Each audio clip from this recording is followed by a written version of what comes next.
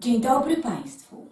Mówię do Państwa w dniu 7 lutego 2024 roku Teresa Garland, prezydent elektorski Rzeczypospolitej Polskiej, Tymczasowa Rada Stanu Narodopolskiego Społeczny Komitet Konstytucyjny, szefowa misji specjalnej i koordynatorka Komitetu Sterującego w oparciu o artykuł 4 Konstytucji.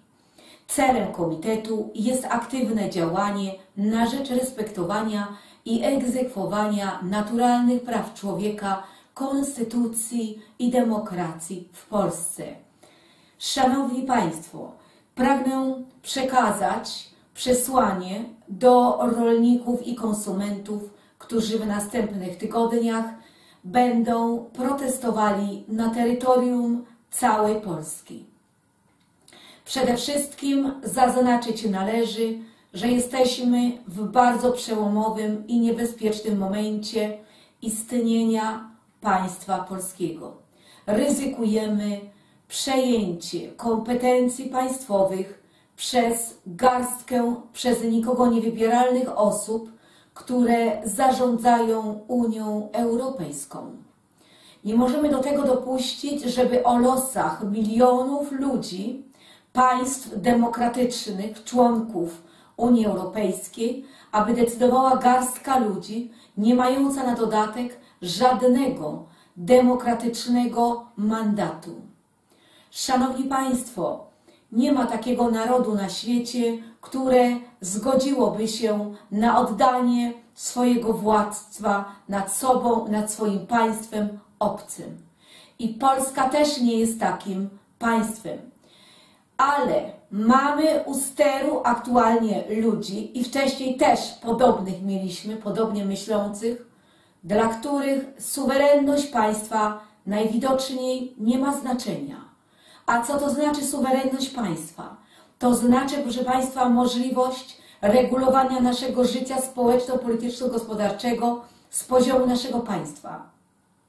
Działanie dla dobra naszego, naszego narodu i działanie dla dobra wszystkich obywateli, gwarantując wszystkim należne im prawa, ale jednocześnie gwarantując takie warunki życia społeczno-gospodarcze, które będą pozwalały na przeżycie każdemu obywatelowi. Przestawienie państwa polskiego do państwa federacyjnego Unii Europejskiej takich gwarancji zapewnienia praw człowieka ani możliwości przetrwania nie gwarantuje. To już pokazują fakty, szczególnie w Polsce zarządzanej przez obcych od ponad 30 lat, kiedy w rzeczywistości poprzez zawyżony, horrendalnie wysoki podatek ZUS, bo tak to trzeba nazwać, który nie pozwala ludziom na przetrwanie, na biologiczne przetrwanie, to jest właśnie jedna z tych metod działania. Dlatego my, Polacy, znamy już ten mechanizm i nie możemy doprowadzić do tego, aby ta sytuacja uległa pogorszeniu. W państwie federacyjnym nie byłoby nam lepiej, tylko gorzej. Dlatego nie wolno dopuścić do tego, aby Unia Europejska przeistoczyła się w federacyjne państwo europejskie, lecz dbać o to i pilnować tego, aby Unia Europejska zgodnie z traktatami z 2004 roku, czyli z traktatami, które de facto narody Europy poparły, aby była tak jak do kilku jeszcze lat temu Unią państw suwerennych, Unią państw suwerennych, narodowych. Niestety, jak się okazuje, proszę Państwa, w tej chwili najprawdopodobniej za plecami Polaków, ale i innych narodów zostało podpisane jakieś porozumienie w grudniu prawdopodobnie o tym, że będzie występowała w Unii Europejskiej od tej pory przegłosowywanie bardzo ważnych umów i ustaw tak zwaną większością kwalifikacyjną. To znaczy, że nie będzie już jednomyślności państw przy podejmowaniu decyzji, na przykład umowy, tej umowy o bezcłowym przepływie towarów z Ukrainy do Europy. Taka decyzja według dochodzących informacji ma być przegłosowana właśnie tą kwalifikowaną większością. Czyli jeżeli nie ma jednomyślności, to znaczy, że państwa narodowe, członkowie Unii Europejskiej stracili suwerenność. Żaden naród tymczasem na to zgody nie dał. Dlatego nie możemy dopuścić do tego, aby taka sytuacja miała miejsce.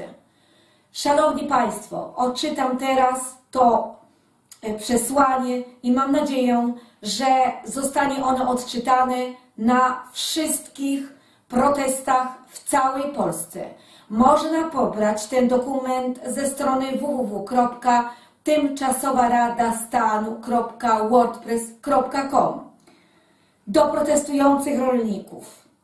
Proszę odczytać na każdym proteście rolniczym w Polsce. Kluczowa informacja dla polskich rolników i polskich konsumentów. Według dochodzących informacji umowa przedłużenia bezcłowego handlu z Ukrainą, przeciwko której protestują polscy rolnicy, ma być przegłosowana w najbliższych tygodniach w Unii Europejskiej większością kwalifikowaną, czyli decyzją pozbawiającą suwerenności państw narodowych, członków Unii Europejskiej. To znaczy, że głos Polski nie będzie miał żadnego znaczenia dla podjęcia decyzji o przedłożeniu, o przedłużeniu tej rujnującej polskich rolników i polskich konsumentów umowy. Bowiem decyzja ta nie będzie podejmowana tak, jak dotychczas, na zasadzie jednomyślności, czyli wszystkie państwa muszą się na to zgodzić, czyli nie na tej zasadzie, czyli, czyli nie będzie podejmowana ta decyzja z uwzględnieniem interesów i suwerenności państw członków Unii Europejskiej. Jest to, proszę Państwa, nadużycie. Nadużycie urzędników europejskich i osób, które sterują Unią. W związku z powyższym nasuwa się pytanie, na jakiej podstawie prawnej o tak ważnej umowie Unia Europejska będzie podejmowała decyzję większością kwalifikowaną zamiast jednomyślnie? Takiej podstawy prawnej w traktatach nie ma. Tu należy zadać pytanie premierowi, panu Donaldowi Tuskowi. Kiedy i w jakim dokumencie podpisał pan zgodę na to, żeby decyzję, żeby decyzje w Unii Europejskiej podejmowane był, podejmowano większością kwalifikowaną, zamiast jedno, jednomyślnie? Czy podpisał Pan to może w grudniu 2023 roku? Wcale bym się nie zdziwiła, biorąc pod uwagę całe zamieszanie, które było akurat wtedy z panem Kamińskim i z panem Wąsikiem, gdzie wszyscy interesowali się tylko ich tematami, a nie interesowali się tematami, które de facto mają prawdopodobnie na celu unicestwienie naszej suwerenności i naszej państwowości. A te działania najprawdopodobniej wtedy właśnie odbywały się na forum Unii Europejskiej. Wiem, że pan Tusk tam jeździł wtedy. W świetle faktów jestem przekonana, że taki akt właśnie podpisania tej, tej zgody na jednomyślność istnieje, ale jest przed polskimi rolnikami i przed Polakami celowo ukrywany. Jakiekolwiek zrzeczenie się przez Donalda Tuska jednomyślności, czy przez kogokolwiek innego, podczas podejmowania decyzji w Unii Europejskiej jest jednoznaczne z popełnieniem przez niego przestępstwa zdrady stanu w celu pozbawienia Polski suwerenności. Jest to de facto zamach stanu na suwerenne państwo polskie. legalizując przedłużenie umowy o bezcłowym handlu z Ukrainą na podstawie decyzji większością kwalifikowaną, urzędnicy Unii Europejskiej przekraczają swoje kompetencje. Skutkiem tej normy prawa wydawanego przez UE są poza granicami kompetencji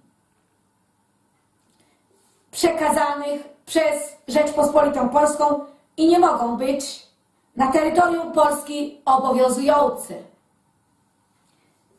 Władze polskie mają pełne prawo i obowiązek zamknąć granicę na przypływ towarów z Ukrainy. I to właśnie takiego aktu powinni domagać się rolnicy, ale nie od UE, czyli od Unii Europejskiej, lecz od polskich władz w Warszawie. Jeśli jakikolwiek polski polityk wyraziłby w imieniu państwa polskiego zgodę na dalsze funkcjonowanie i przedłużenie wyżej wymienionej umowy, to dokonuje on zdrady stanu i przestępstwa przeciwko ludzkości, łamiąc artykuł drugi Międzynarodowego Prawa do Samostanowienia Narodów, który między innymi mówi, że w artykule drugim w żadnym wypadku, w żadnym przypadku nie można pozbawiać narodu jego własnych środków egzystencji. Wtedy takiego polityka łamiącego międzynarodowego, międzynarodowe prawo do samostanowienia narodów, w tym narodu polskiego i do posiadania swojego narodowego, suwerennego państwa polskiego, należy w trybie pilnym postawić przed Trybunałem Stanu i Międzynarodowym Trybunałem Karnym. Bowiem posiadanie własnego rolnictwa jest bez wątpienia środkiem własnym narodu polskiego do egzystencji.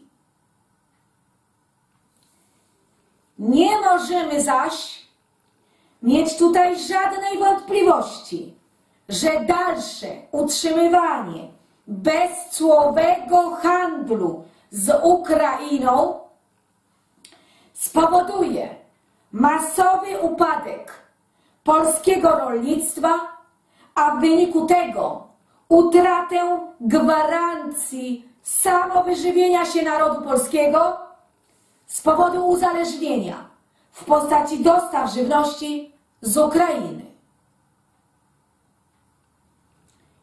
Utracimy przez to suwerenność żywnościową. Każdy, kto przykłada do tego rękę, dokonuje aktu zdrady. Spowoduje to również konfiskatę polskiej ziemi i podstępne jej przejęcie przez prawdopodobnie do tego właśnie celu przygotowaną specjalnie firmę, agencję KOWR, Krajowy Ośrodek Wsparcia Rolnictwa, która następnie przekaże lub sprzeda lub wydzierżawi na wieczność obcym tę skonfiskowaną Polakom ziemię. Podsumowując, w świetle przepisów międzynarodowych i w świetle polskiej konstytucji, umowa Unii Europejskiej z Ukrainą o przepływie bezcłowych towarów z Ukrainy nie ma umocowania w kompetencjach urzędników unijnych w stosunku do państwa polskiego i narodu polskiego. Urzędnicy Unii Europejskiej przekroczyli swoje kompetencje. To władza krajowa, rząd, ma prawo i obowiązek wydać akt prawny o blokadzie towaru z Ukrainy. Jeśli władza w Polsce tego nie robi, to znaczy, że władza dokonuje zdrady Dlatego rolnicy powinni protestować nie przeciwko Komisji Europejskiej, lecz przeciwko władzom krajowym, które mając możliwości prawne i wykonawcze na rzecz, mają możliwość, by zadziałać na rzecz polskich rolników i polskich konsumentów, tego nie robią.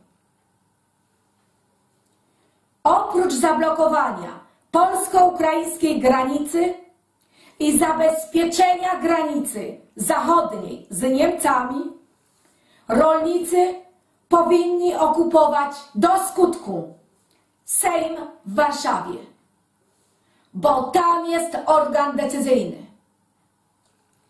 Jeśli w krótkim czasie rząd i Sejm zawiodą, to naród polski poprzez wzięcie władzy w swoje ręce na podstawie artykułu 4 Konstytucji może taki akt wydać bezpośrednio. W każdym razie przedłużenie umowy Unii Europejskiej z Ukrainą nie może być na terytorium Polski egzekwowane. Tłumaczenie się władz, że oni nic nie mogą, bo to jest decyzja Unii, jest niedopełnieniem obowiązków rządzących.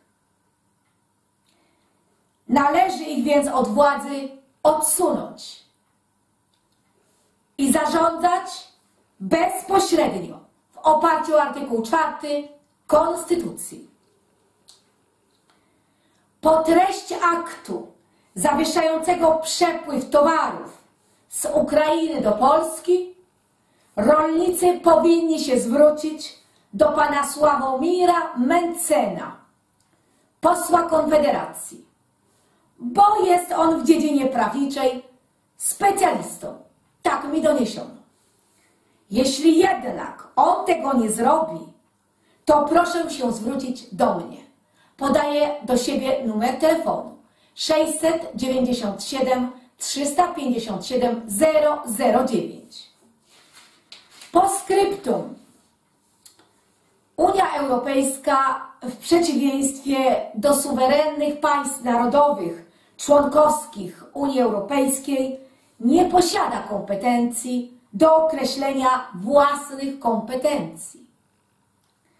Zasada kompetencji powierzonych nie wyklucza wprawdzie interpretowania postanowień traktatów, których treścią jest przyznanie wspólnotowych zadań lub kompetencji w świetle celów tych traktatów, jednak cele te nie stanowią wystarczającej podstawy do konstruowania nowych zadań i kompetencji, ani do rozszerzania zadań i kompetencji powierzonych. Umocowanie do przeniesienia kompetencji też nie jest wystarczającą podstawą do bezwarunkowego przyjęcia zasady pierwszeństwa prawa unijnego, ponieważ musi być ono zgodne z podstawowymi zasadami konstytucyjnymi. Ani akty prawa międzynarodowego, ani też ustawy nie mogą powodować nielimitowanego przekazania kompetencji państwa organizacjom międzynarodowym. Zaś prawidłowość procesu przekazania kompetencji może i powinna być kontrolowana przez Trybunał Konstytucyjny oraz bezpośrednio przez suwerena, czyli naród polski działający bezpośrednio w oparciu o artykuł 4 Konstytucji.